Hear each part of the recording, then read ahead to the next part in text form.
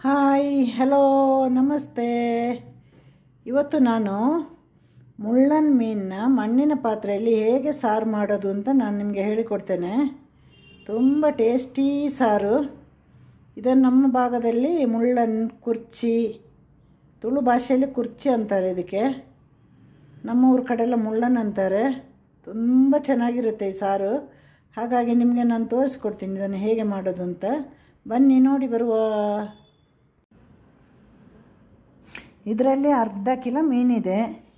ಇದರ ಹೆಸರು ಮುಳ್ಳನ್ ಅಂತ. ಇದರಲ್ಲಿ ತುಂಬ ಮುಳ್ಳಿದೆ. ಅದರ ಸಾರು ತುಂಬ ಟೇಸ್ಟಿಯಾಗಿರುತ್ತೆ ಇದರ ಸಾರು ಮಾಡಿದರೆ. ಮಕ್ಕಳಿಗೆಲ್ಲ ಈ ಮೀನು ಕೊಡುವಾಗಿಲ್ಲ. ಇದು ಸಮುದ್ರ ಮೀನು. ಇದಕ್ಕೆ ಹೇಗೆ ಮಸಾಲೆ ಎಲ್ಲ ರುಬ್ಬೋದು ಅಂತ ನಾನು ಇವತ್ತು ಹೇಳಿಕೊಡ್ತೀನಿ. ಅರ್ಧ ಕೆ ಜಿ ಮುಳ್ಳನ್ ಮೀನಿಗೆ ನಾನೊಂದು ಚಿಕ್ಕ ತೆಂಗಿನಕಾಯಿ, ಇಡೀ ತೆಂಗಿನಕಾಯಿನ ತುರಿದಿಟ್ಟಿದ್ದೀನಿ. ಒಂದು ಸಣ್ಣ ನಿಂಬೆ ಗಾತ್ರದಷ್ಟು ಹುಣಸೆಹಣ್ಣು ನೋಡಿ. ಒಂದು ಇಪ್ಪತ್ತೆರಡು ಗುಂಟೂರು ಮೆಣಸಿನಕಾಯಿ, ಒಂದೂವರೆ ಸ್ಪೂನು ಧನಿಯಾ ಬೀಜ, ಇದೆರಡನ್ನು ನಾನು ಎಣ್ಣೆಯಲ್ಲಿ ಹುರ್ಕೊಂಡಿಟ್ಟಿದ್ದೇನೆ. ಒಂದು ಸ್ಪೂನು ಅರಿಶಿನ ಪುಡಿ. ಈಗ ಇದನ್ನು ನೀರು ಹಾಕ್ಕೊಂಡು ಚೆನ್ನಾಗಿ ನುಣ್ಣಗೆ ರುಬ್ಬಬೇಕು ಇದೆಲ್ಲೊಂದು ಅರ್ಧ ಅರ್ಧ ಗಂಟೆಯಲ್ಲಿ ಆಗುವಂಥ ಸಾರುಗಳು. ಬೇಗ ಬೇಗ ಆಗುತ್ತೆ.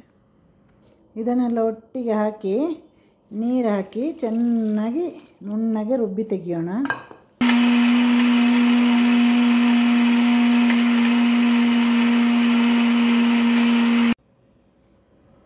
ಈಗ ನುಣ್ಣಗೆ ನಾನು ಮಸಾಲೆ ರುಬ್ಬಿದಾಯಿತು ಇವತ್ತು ನಾನು ಮಣ್ಣಿನ ಪಾತ್ರೆಯಲ್ಲಿ ಮೀನು ಸಾರು ಮಾಡೋದು. ಈಗ ಸ್ವಲ್ಪ ನೀರು ಹಾಕೋಣ ಇನ್ನು.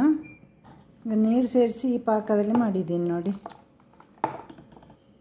ಈಗ ನಾನು ಆರು ಹಸಿಮೆಣಸಿನಕಾಯಿ ಕಟ್ ಮಾಡಿಟ್ಟಿದ್ದೇನೆ. ಅರ್ಧ ಈರುಳ್ಳಿ, ದೊಡ್ಡ ಈರುಳ್ಳಿ ಅರ್ಧ ಭಾಗ, ಒಂದು ಇಡೀ ಟೊಮೆಟೊ ಇದು ಕುದಿಸುವಾಗ ನಾವು ಇದಕ್ಕೆ ಮೊದಲೇ ಹಾಕಬೇಕು. ಯಾವಾಗಲೂ ಮಣ್ಣಿನ ಪಾತ್ರೆಯಲ್ಲಿ ಸಾರು ಮಾಡುವಾಗ ಸಾರು ಮಾಡಿದ ಮೇಲೆ ಮಣ್ಣಿನ ಪಾತ್ರೆಯನ್ನು ಚೆನ್ನಾಗಿ ತೊಳೆದು ಬಿಸಿಲಲ್ಲಿ ಇಡಬೇಕು. ಮತ್ತೊಂದು ಸಲ ಯೂಸ್ ಮಾಡುವಾಗ ಚೆನ್ನಾಗಿ ತೊಳೆದು ಯೂಸ್ ಮಾಡಬೇಕು. ಯಾಕಂದರೆ ಇದರಲ್ಲಿ ಫಂಗಸ್ ಇದ್ದರೆ ಫಂಗಸ್ ಇದ್ದರೆ ಅಂದರೆ ನಮ್ಗೆ ಗೊತ್ತಾಗಲ್ಲ ಇದು. ಇನ್ನು ರುಚಿಗೆ ತಕ್ಕ ಉಪ್ಪು ಹಾಕಿ ಚೆನ್ನಾಗಿ ಕುದಿಸೋಣ.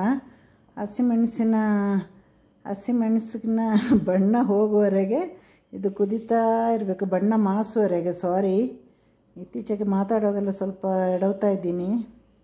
ನೋಡಿ, ಮಣ್ಣಿನ ಪಾತ್ರೆಯಲ್ಲಿ ಸಾರು ಚೆನ್ನಾಗಿ ಕುದೀತಾ ಇದೆ. ಇನ್ನೂ ಚೆನ್ನಾಗಿ ಕುದಿಬೇಕು ನೋಡಿ.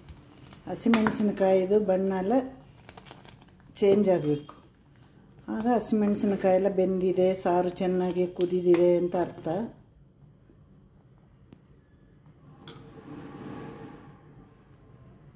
ಈಗ ಮೀನು ಸಾರಿನ ಮಸಾಲೆ ಚೆನ್ನಾಗಿ ಕುದಿದಿದೆ. ಹಸಿಮೆಣಸಿನಕಾಯಿದು ಬಣ್ಣ ಬದಲಾಗಿದೆ, ಟೊಮೆಟೊ, ಈರುಳ್ಳಿ ಎಲ್ಲ ಚೆನ್ನಾಗಿ ಬೆಂದಿದೆ ನೋಡಿ. ಈಗ ಮೀನು ಹಾಕಬೇಕು. ಇದು ಮುಳ್ಳನ್ ಮೀನು. ಈ ಮೀನು ಹಾಕಿ ಒಂದರಿಂದ ಒಂದೂವರೆ ನಿಮಿಷದಲ್ಲಿ ಸ್ಟವ್ ಆಫ್ ಮಾಡಬೇಕು. ಇಲ್ಲಾಂದರೆ ಮೀನಿನ ಮುಳ್ಳು ಮಾತ್ರ ಬಾಕಿಯಾಗಿರುತ್ತೆ. ಅಂಥ ಮೃದು ಮೀನು ಇದು ನೋಡಿ. ಒಂದೂವರೆ ನಿಮಿಷದಲ್ಲಿ ಇದು ಬೆಂದಿರುತ್ತೆ. ಮೀನು ಹಾಕಿದ್ದೀನಿ ಈಗ. ಢಾಮ್ ಢೂಮ್ ಅಂತ ಹಾಕಿದೆ. ಮೀನು ಸಮುದ್ರದೊಳಗಡೆ ತೇಲಾಡ್ತಾ ಇದ್ದೆ ಹಳದಿ ಸಮುದ್ರ ನೋಡಿ. ಒಂದರಿಂದ ಒಂದೂವರೆ ನಿಮಿಷ ಅಷ್ಟೇ ಸಾಕು. ಈಗ ಮುಚ್ಚಿಡಬೇಕು. ಮಣ್ಣಿನ ಪಾತ್ರೆಯಲ್ಲಿ ಮಾಡಿದ ಮಂಗಳೂರು ಮೂಲದ ಅಥವಾ ಕಾಸರಗೋಡು ಮಂಗಳೂರು ಭಾಗದ ಕುರ್ಚಿ ಅಥವಾ ಮುಳ್ಳನ್ ಮೀನು ಸಾರು ರೆಡಿಯಾಗಿದೆ ಎಲ್ಲರೂ ಮನೆಯಲ್ಲಿ ಟ್ರೈ ಮಾಡಿ ನೋಡಿ. ಈಸಿ ಮೆಥಡ್ ಇದು.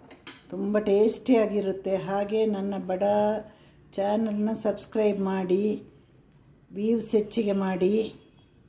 ಟಾಟಾ ಬಾ ಬಾಯ್ ಸಿ ಯು ಖಂಡಿತ ಇದನ್ನು ನೀವು ಮನೇಲಿ ಮಾಡಿ ನೋಡಲೇಬೇಕು.